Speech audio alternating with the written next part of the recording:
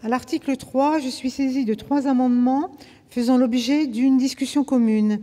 J'appelle l'amendement numéro 5 rectifié bis, qui est présenté par euh, notre collègue Moret. Oui, merci Madame la Présidente. Madame la Présidente, euh, Madame la Ministre, mes chers collègues, cet article 3 est un article important. C'est un article qui concerne la question de, la suppléance des délégués, euh, qui est un sujet important pour les petites communes qui n'ont qu'un délégué titulaire.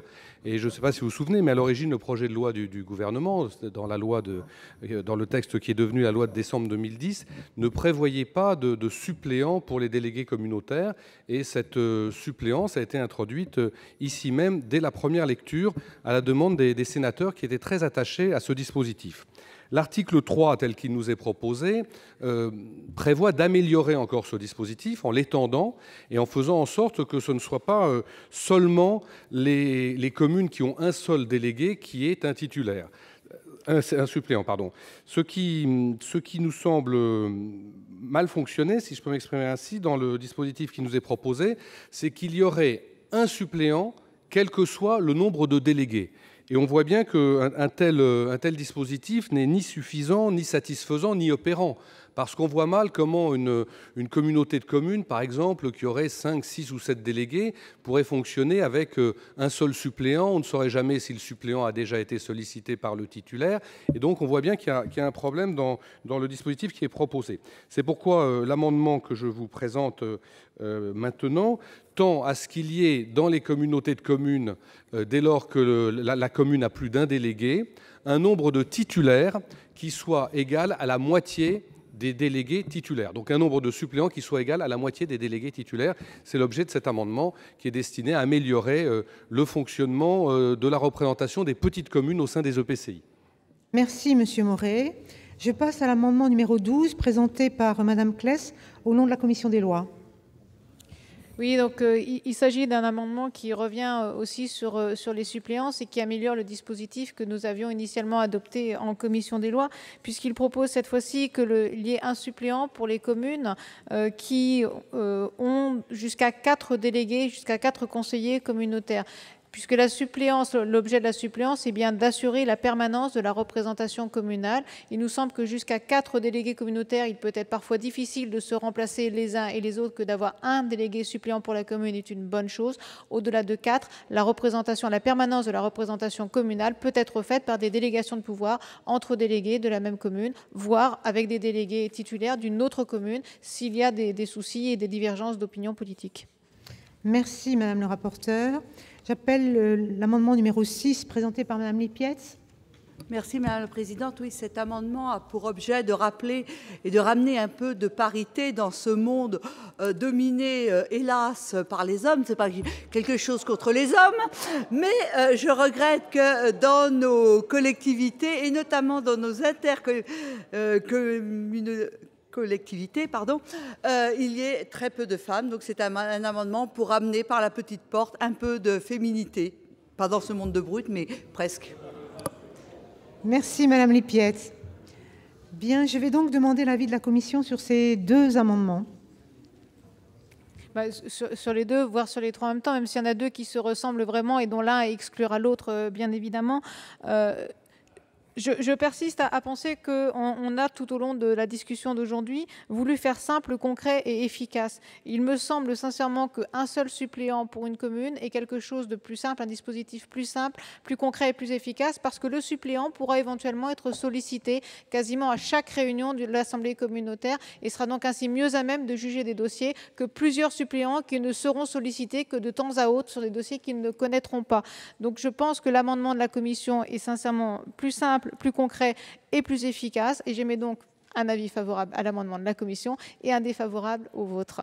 En ce qui concerne l'amendement de Madame Lipietz, euh, Bien, qu'étant une femme, je, lui dirais qu'en l'occurrence, je ne pense pas que son amendement améliorera la, parité. Euh, d'abord, soit on est sur des scrutins de liste avec parité obligatoire et donc l'amendement est de toute façon satisfait, soit on a plusieurs suppléants peut-être de sexes différents. Je ne sais pas comment est-ce qu'on va déterminer le sexe euh, de plusieurs suppléants pour remettre quelqu'un euh, du sexe opposé. Soit on est vraiment sur des toutes petites collectivités où la parité elle-même ne sera pas forcément au rendez-vous dans la liste des conseils municipaux et où donc il y aura impossibilité totale de réaliser, d'être conforme à la loi. Donc pour toutes ces raisons, j'émets un avis défavorable. Et la commission. Merci Madame le rapporteur. Monsieur. Ah oui, l'avis du gouvernement, Madame la ministre sur ces trois amendements. Merci, euh, Madame la Présidente. Euh, s'agissant du premier amendement qui a, été, qui a été proposé, je voudrais dire que les nouvelles modalités d'élection des délégués communautaires l'élection au suffrage universel direct dans le cadre des élections municipales a conduit à ce que soit écartée la généralisation des suppléants à toutes les communes. Dès l'examen en première lecture, nous l'avions dit au Sénat.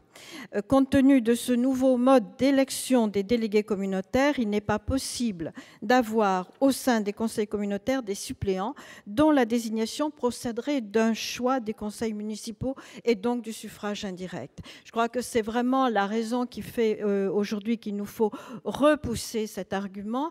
Et euh, s'agissant de, de l'amendement la, proposé par Madame le rapporteur, il, il est un peu dans la même, dans la même logique. Néanmoins, on en comprend, euh, on en comprend l'objectif. Et sur ce point-là, le, gouvernement est prêt, à, est prêt à se rallier à votre position s'il le fallait. S'agissant du problème de la parité, la parité, c'est un enjeu majeur. Chacun ici le sait. Et même si le gouvernement admet bien qu'il est difficile de la mettre en œuvre, il ne peut pas évidemment retarder le principe de la parité. Et donc, il serait favorable à votre amendement. Merci, Madame la Ministre. Bien. Monsieur Alain Richard. Madame la Présidente, il me semble judicieux tout de même de, de, rappeler que la proposition de loi dont nous débattons et qui rencontre un certain assentiment ne modifie que des textes du Code général des collectivités territoriales et pas des articles du Code électoral. Donc, sur la question des suppléants, son objet est simplement d'en définir le nombre. Et nous, avons, je crois, un assez large, un assez large rassemblement d'opinions pour penser que ce nombre peut être limité à 1. La façon dont le suppléant sera choisi dépendra de la réforme du Code électoral dont, Madame la Ministre, vous nous avez parlé tout à l'heure dans votre intervention. Donc, il est évident que de se prononcer sur le rapport de genre entre le suppléant et les titulaires est prématuré, puisque si, comme le gouvernement euh, l'annonce et comme bon nombre d'entre nous sommes décidés à le voter, l'essentiel des conseillers communautaires sont élus à l'avenir sur des listes euh, présentées au suffrage universel et qui sont par elles-mêmes paritaires, le suppléant dont nous aurons fixé le nombre par le projet de loi aujourd'hui sera simplement le dernier de la liste qui aura été élu, et par définition, le principe de parité s'appliquera à lui ou à elle en fonction du genre du dernier élu de la liste. En revanche, pour le petit nombre, mais émanant d'un grand nombre de communes, de conseillers communautaires qui resteront élus par les conseils municipaux, puisqu'ils seront, sera dans des communes de moins de 1000 habitants, si c'est ce seuil qui est euh, adopté, il est difficile d'instaurer une obligation de parité parce que euh, le conseil municipal lui-même n'est pas paritaire. Donc il me semble que le, débat sur cet amendement est prématuré. Merci, Monsieur Richard. La parole est à Jean-Claude Lenoir.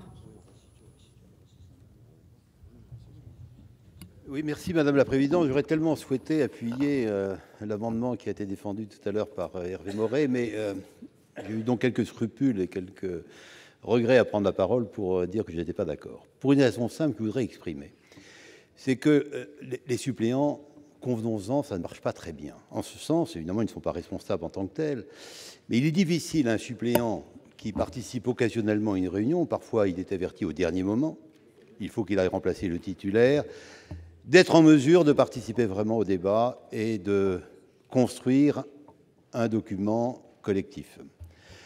C'est la raison pour laquelle, autant il est souhaitable qu'il y ait malgré tout un suppléant, quel que soit le nombre de délégués titulaires, Autant moi je préfère que ce soit des membres de l'Assemblée, donc des délégués titulaires, qui accordent leur pouvoir à un autre. Cette façon de faire pour des grandes assemblées me paraît être plus cohérente pour être sûr qu'il y ait un suivi d'une réunion à l'autre entre les différents participants à la collectivité. Merci, Monsieur Lenoir. La parole est à Monsieur Courtois. Monsieur le Président, vous avez la parole. Chacun comprend bien pourquoi il faut effectivement un certain nombre de, de suppléants pour euh, assurer la continuité, même si effectivement il y a, il y a des procurations. Et j'étais donc tout à fait favorable à l'instauration de suppléants. Je reviens à l'amendement de mes collègues Moret et De qui pose quand même un problème, parce que si on désigne moitié de suppléants, dans mon propre conseil municipal, j'aurais pas assez de conseillers. Puisqu'il faut 30, j'ai 30 délégués à la communauté d'agglomération, 50% ça fait 15, 30 et 15, 45, et j'ai que 39 conseillers municipaux. C'est la raison mathématique qui me fait que je ne pourrais pas accepter cet amendement. En revanche, l'amendement de Mme Kless me paraît d'aller dans le bon sens, puisque pour les collectivités locales les plus petites, qui ont un petit nombre de, de délégués, que d'avoir des suppléants, ça au contraire, ça instaure un débat dans le conseil municipal, puisque ça permettra d'avoir des délégués titulaires et des délégués suppléants qui seront au courant de la vie de la vie communale et de la vie intercommunale. Et je crois que cet amendement va dans le bon sens. Comme l'a dit M. Richard, ça va aussi dans le bon sens par rapport au fait que ce n'est pas une désignation, ce sera dans la partie électorale. Donc je crois que l'amendement de Mme Kless va dans le bon sens, et, euh, à titre personnel, et je pense qu'un grand nombre de, sénatrices et sénateurs voteront cet amendement. Je crois qu'il faut se rallier à l'amendement de Mme Kless. Merci, M. Courtois. M. Berry-Debat.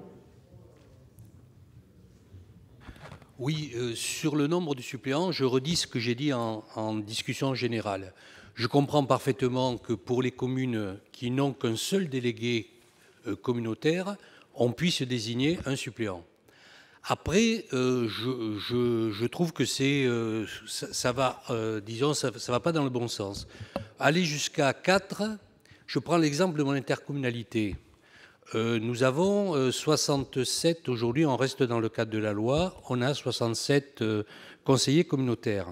Dans ces 67 conseillers communautaires, j'ai une ville qui a plus de 4 euh, conseillers communautaires, tous les autres ont moins de 4. Ça voudrait dire qu'on euh, on ferait participer euh, lors d'une réunion, puisque dans le projet de loi, il est prévu de, de permettre aux suppléants d'être présents. C'est-à-dire, je passerai, moi, de 67 à 98 personnes. Ça peut poser un problème technique, euh, voilà, euh, pratique. Euh, J'ai pas une salle qui peut accueillir 98 personnes. Et même si mes collègues me disent les suppléants, on peut les mettre avec le public, j'ai pas non plus 50 places pour mettre le public. Voilà. Donc, je pense que rester sur un suppléant pour les communes, les petites communes qui ont qu'un seul délégué, bah, pour moi, c'était quelque chose d'obligatoire, de, de, nécessaire et de suffisant. Merci, chers collègues. La parole est à M. Colomba. Notre discussion est un peu étonnante dans la mesure où on commence par limiter les possibilités de délégation, puisque donc on, on enlève la liberté aux collectivités, et ensuite, comme on s'aperçoit que ça pose quand même quelques problèmes, on crée, on crée des suppléants.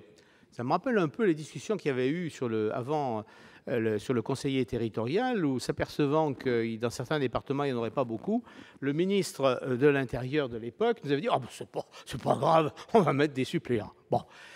Si effectivement euh, une commune n'est représentée que par une personne, ça pose effectivement des problèmes mais que pour, euh, ça me paraît légitime d'avoir un suppléant, et je serais d'accord avec euh, notre collègue, euh, mon collègue Berry Debat, je crois que ça, s'impose, enfin ça s'impose, c'est un pis-aller pour les communes qui sont représentées que par une personne, pour les autres, eh bien ma foi, qui se mobilisent et qui donnent des délégations.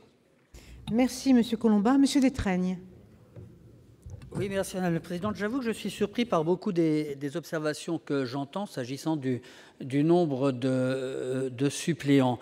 Surtout au moment où on va généraliser l'intercommunalité, il y a des communes qui rentrent dans l'intercommunalité parce que la loi leur impose d'entrer dans l'intercommunalité et elles sont d'autant plus attachées à être représentées dans toutes les réunions de cette interco par un membre de leur conseil municipal. Et, et, donc il est important qu'elles puissent avoir euh, non pas pléthore de suppléants, mais deux, trois, euh, quatre suppléants en fonction du nombre de, représentants qu'elles ont en, titulaire.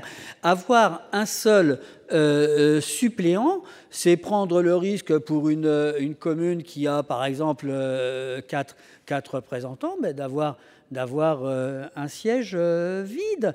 Et franchement, aujourd'hui, qu'il faut que l'intercommunalité se mette en place dans les meilleures, dans les meilleures conditions, je crois qu'il faut un peu, de, souplesse par rapport à ça. Donc, euh, euh, je, maintiens encore plus